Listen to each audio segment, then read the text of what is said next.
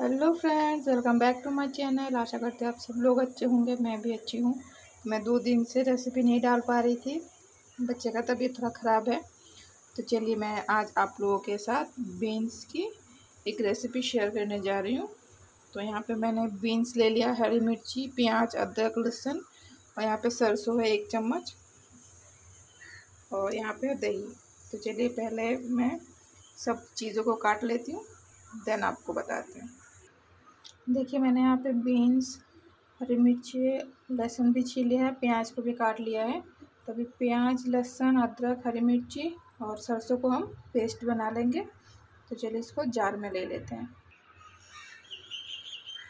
ये देखिए, यहाँ पे मैंने पेस्ट कर लिया है इसको। तो चलिए अभी गैस में चलते हैं। मैंने यहाँ पे सरसों का तेल गरम करने के लिए रख दिया है। ये भी तेल को हम गरम होने देते हैं। तेल हमारा गरम हो गया है। अब इसमें अब हमने जो मिक्सचर रेडी किया है इसको डाल देंगे।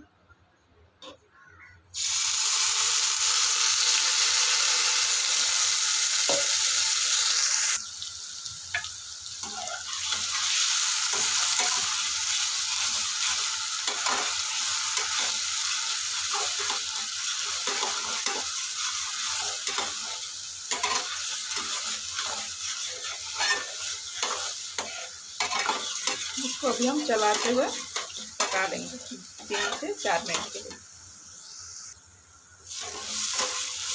तीन से चार मिनट इसको चलाते हुए मैंने पका लिया। अभी हम इसमें मसाला ऐड कर देंगे। अब एक चम्मच नमक। आधा चम्मच हल्दी। एक चम्मच मिर्च पाउडर।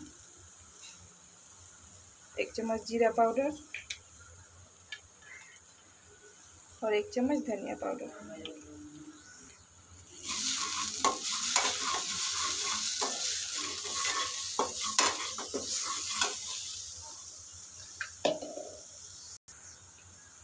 मैंने मसाले को अच्छे से मिक्स कर लिया है। अभी इसमें थोड़ा सा पानी ऐड कर देंगे।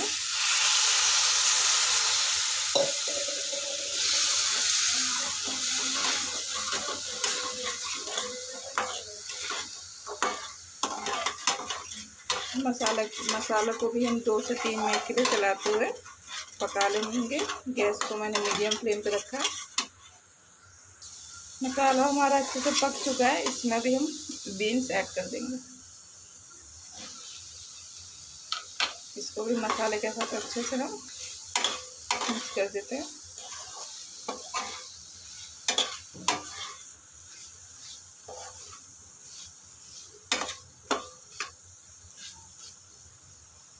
अभी हम इसमें लीड लगा के तीन से चार मिनट के लिए मीडियम फ्लेम पे इसको पका लेंगे।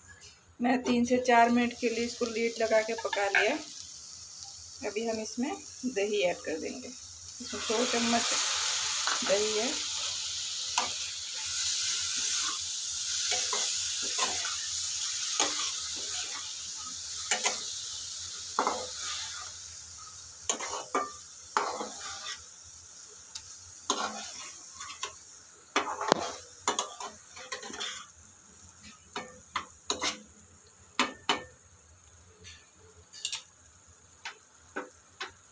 दही को भी हम बीन्स और मसाले के साथ तीन से चार मिनट के लिए लेड लगा के इसको पकने देंगे। मैंने यहाँ पे पानी ऐड कर दिया है। थोड़ा सा ज़्यादा नहीं। ग्रेवी नहीं बनाना।